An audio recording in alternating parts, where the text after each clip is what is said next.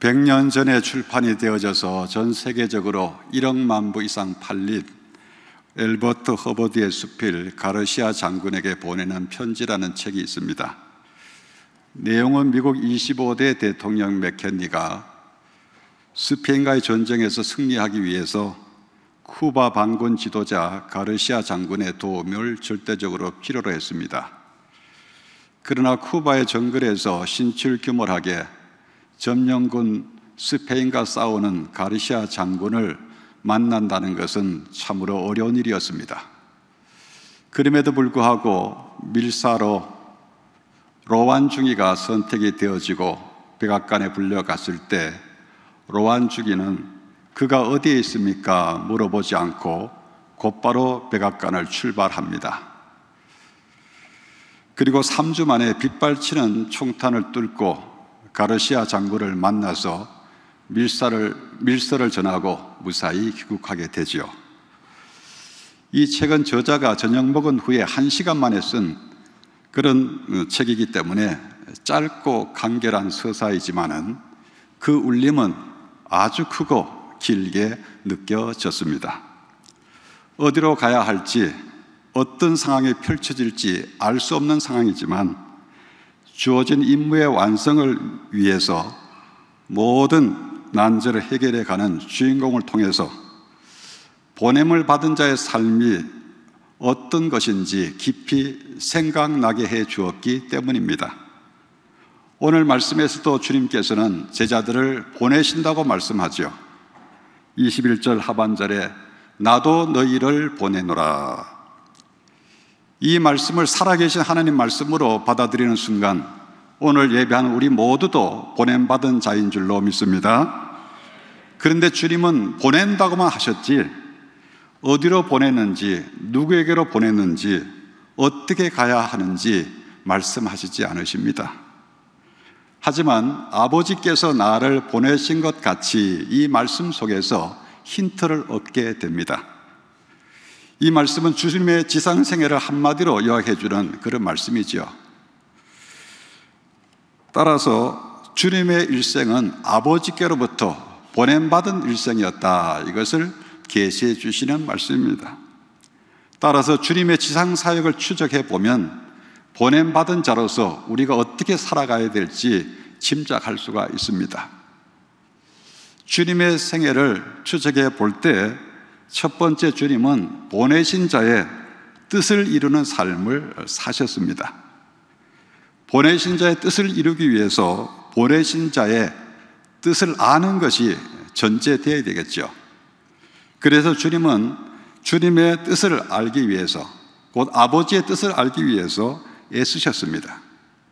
상당히 일정이 빡빡하고 피곤한 그런 사역이었음에도 불구하고 매일같이 새벽 미명에 한적한 곳을 찾으셨습니다. 마가복음 1장 35절에 이렇게 우리에게 전해 줍니다. 새벽 오히려 미명에 예수께서 일어나 나가 한적한 곳으로 가사 거기서 기도하시더니 기도가 그만큼 중요했다는 거죠. 새벽만이 아닙니다. 누가복음 9장에 보면 예수님께서 세 제자를 데리시고 산으로 가십니다. 기도하실 때 용모가 변화되고 옷이 하얘져서 강체가 나게 됩니다. 그때 모세와 엘리야를 통해서 예루살렘에서 별세하실 것을 말씀해 주시죠. 별세로 우리 말 성경에 번역이 되어졌지만 헬라어 성경을 보면 ὁ ἔξοδον, ἔξοδος 하실 것을 말씀하셨습니다. 이 심각한 말씀이 주어졌음에도 불구하고 함께 갔던 세 제자의 반응이 어떠했습니까? 생뚱맞게도 초막 셋을 짓고 여기 살자고 합니다. 누가는 이런 제자들의 반응에 대해서 이렇게 평가절하합니다. 자기가 하는 말을 자기도 알지 못하더라. 누가복음 9장 33절 말씀입니다. 자신도 알지 못하는 말을 하게 된 이유가 무엇일까요? 그 이유에 대해서도 누가는 이렇게 말씀합니다. 깊이 졸다가 온전히 깨어나 예수의 영광과 함께 선 두 사람을 보더니 기도하러 갔으면 기도해야 되는데 졸았습니다. 잠자는 것처럼 깊이 졸았기 때문에 사명의 말씀, 그 십자가의 죽음으로 온 인류를 죄로부터 출애굽시켜야 한다는 것은 듣지를 못했습니다. 우린 여기서 깨닫는 것이 있습니다. 기도할 시간에 기도하지 않으면 사명은 놓치고 영광에만 취해서 살게 된다는 사실입니다. 오늘날 사명을 놓치고 영광에 취해 있으면서 하나님의 주신 복으로 포장하며 사는 목회자들이 얼마나 많은가요? 수일이 영락기도원 입구에 올라가다 보면 오른쪽 편에 조그마한 바위에 형제는 왜 이 산을 오르십니까? 그런 글귀가 새겨져 있습니다. 기도하러 온 목적에 대한 물음이지요. 같은 질문을 제가 오늘 여기서 해봅니다. 우리 학우들 왜 이 자리에 모이셨습니까? 왜 예배하러 오셨습니까? 요즘은 전자출결로 바뀌었지만 제가 재학할 당시는 카드를 제출했습니다. 멀리서는 볼지 몰라도 이런 카드를 제출하고 예배 출석을 점검받았습니다. 예배 출결 때문에 예배하지 않기를 바랍니다. 매일의 예배가 주님의 음성을 듣는 예배가 될 때 우리 삶은 달라질 것입니다. 기도 없이 예배 없이 시도하는 일은 더는 아버지의 사역이 될 수 없습니다. 기도 없는 삶은 거짓되고 삶이 없는 기도는 위선입니다. 기도가 중요합니다. 부목사 시절 갈리 집사 부인이 원인을 모를 병으로 시름시름 알아서 병원 치료를 포기하고 금식 기도원으로 들어갔습니다. 위로하기 위해서 금식 기도원을 찾았다가 두 가지 큰 충격에 빠졌습니다. 기도원에 그토록 많은 사람들이 모여서 금식을 하고 있었습니다. 그것이 첫 번째 충격이었고, 두 번째 충격은 위로하고 나서 주변 사람들에게 왜 금식 기도 하는지 물어봤을 때 한결같은 대답이 무엇이었느냐? 돈이었습니다. 받을 돈 못 받아서, 갚을 돈 못 갚아서, 보증 잘못 서줘서 돈 문제로 금식하고 있었습니다. 새벽마다 기도하시는 예수님이신데 따로 산에 기도하러 올라가셨습니다. 보냄받은 자의 삶, 그 사명에서 이탈되지 않기 위함이죠. 산상에서의 핵심 사건은 예루살렘에서의 출애굽, 분명한 사명의 제시였습니다. 사명의 전달 과정에서 일어난 황홀한 강경은 출애굽을 위한 6월절 어린 양이 친히 되셔야 되는 성자를 향한 성부의 위로와 격려였습니다. 하지만 졸다가 깨어난 제자들은 계시의 핵심은 놓치고 계식의 분위기에 취했습니다. 게르하르트 폰 나트가 말했죠. 일상적이지 않은 방식으로 받아들여진 계시는 결코 그 자체로 목적인 적이 없다. 신비적 경험 후에는 반드시 일상적인 현실 안으로 들어가야 된다는 거죠. 예루살렘으로 가야 된다는 것입니다. 예배의 열매는 예배당 안이 아니라 사회와 역사 안에서 맺혀져야 되는 것입니다. 하고 여러분, 보냄받은 자의 삶은 보내신 분의 뜻을 이루는 삶입니다. 보내신 분의 뜻을 이루는 삶을 살려면 보내신 분과 늘 소통해야 됩니다. 그렇지 않으면 계시의 핵심은 놓치고 계시의 분위기에 취해서 사는 존재가 됩니다. 보내신 분이 제시한 사명은 놓치고 자기 열심에 만족하며 살게 되는 것이죠. 두 번째 주님은 보내신 자가 보내는 곳에서 삶을 사셨습니다. 앞서 주님께서 나도 너희를 보내노라 말씀하시면서 보낼 장소를 언급하지 않았다고 말씀드렸습니다. 이는 최초로 제자들을 선택할 때도 마찬가지입니다. 마가복음 3장 14절 이하에 보면 이에 열두를 세우셨으니 이는 자기와 함께 있게 하시고 또 보내사 전도도 하며 귀신을 내어 쫓는 권능도 가지게 하려 하심이라 하셨습니다. 이 말씀에서 어디로 누구에게 어떻게 가야 하는지 실마리를 찾을 수가 있습니다. 열두 제자를 세운 첫 번째 목적이 무엇입니까? 보내어 전도하는 것에 앞서서 자기와 함께 있게 하시고 주님과 함께 있는 것입니다. 주님과 함께 있는 것을 다른 말로 표현한다면 주님과 친밀성을 강화하는 것일 것입니다. 오늘날 이게 가장 부족합니다. 주님과 친밀하게 되면 자연스럽게 어디로, 누구에게로 가야 될지 알게 되는 것이죠. 동역하는 목회자가 목사 고시나 목사 안수나 또 담임 목사로 부임하거나 개척을 하게 될 때 최소한 일주일 이상의 휴가를 줘서 기도원을 가게 합니다. 분명한 응답을 받고 고시에 응하고 임직을 하고 담임 목사로 또 개척 목사로 가라는 것입니다. 그런데 한 주간을 다 채우지 못하고 3, 4일 만에 교회로 복귀하는 그런 분들도 있었습니다. 그런데 우연인지 몰라도 그분들의 공통점이 있었습니다. 교회 부임이든 교회 개척이든 중도의 포기 현상을 발견했습니다. 분명한 응답이 없이 갔으니 어려움이 발생할 때 견디지를 못했던 겁니다. 신앙생활은 익숙해지는 것이 아니라 친밀해지는 것입니다. 주님과 친밀성이 강화되면 어디로 가야 할지 분명해집니다. 제가 신학과에 재학할 당시는 교가가 없었기 때문에 323장을 교가처럼 불렀습니다. 그런데 그 찬송을 부를 때면 2절 부분에 가서 소리가 약해집니다. 아골골짝 빈들과 소동 같은 거리로 보낼 것이 두려워서 찬송하지 않는 겁니다. 오늘 이 자리에는 그런 분들이 없기를 바랍니다.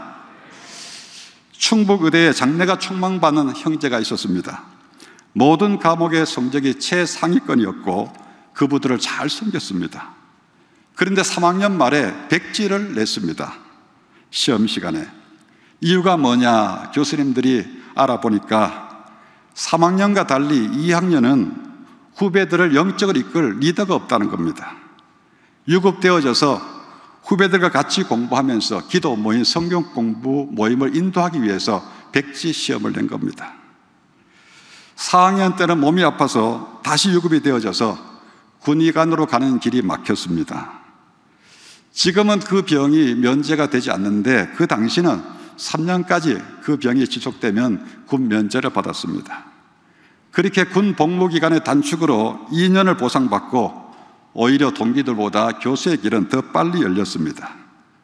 주인공은 충북의대 소아청소년과 교수로서 우리 신대원을 졸업하고 지금 전도사로 사역하는 우성일 동문입니다. 하고 여러분, 보냄을 받은 자가 가야 할 곳은 주님이 보내시는 곳입니다. 주님이 보내시는 곳에서 사역하려면 주님과 친밀해져야 됩니다. 사역에 익숙한 자가 아니라 주님과 친밀한 자가 되어야 됩니다. 주님과 친밀하지 않으면 엉뚱한 곳에서 엉뚱한 사역으로 만족하며 살아가는 그런 목회자가 될 것입니다. 세 번째, 주님은 보내신 자가 책임지는 삶을 사셨습니다. 저는 농부의 아들로 태어났는데 농지는 대개 천수답과 수리 안전답으로 나눠집니다. 요즘은 관계 수로가 좋아져서 대부분 수리 안전답이 되어졌지만 과거는 그렇지 않았습니다. 하늘에서 비를 내려줘야만 곡식을 씹고 가꿀 수 있는 천수답이 참 많았습니다. 농부라면 누구나 물을 잘 댈 수 있는 수리 안전답을 선호합니다. 목회지도 선교지도 그런 것 같습니다.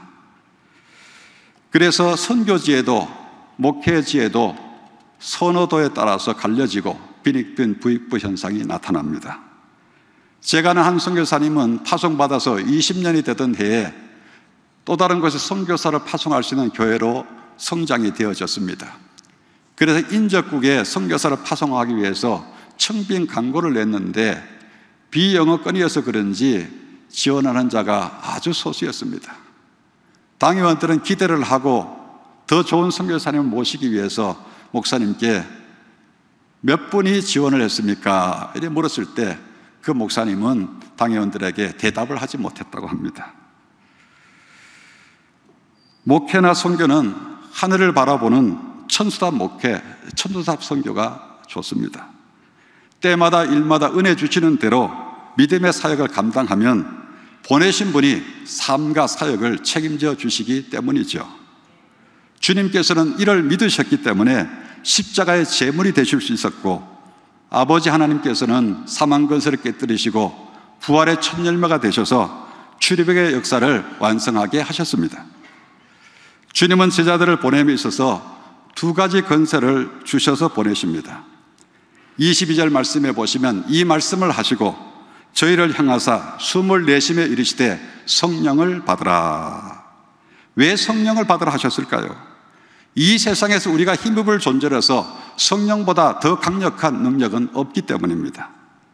은사장인 고린도전서 12장 마지막 절에 보면 더욱 큰 은사를 삼아라 그렇게 말씀하시면서 13장에서 사랑에 대해서 온 장을 할애하고 있습니다. 갈라디아서 5장 22절에 보면 성령의 아홉 가지 열매를 말씀하시면서 사랑을 첫 번째 열매로 꼽습니다.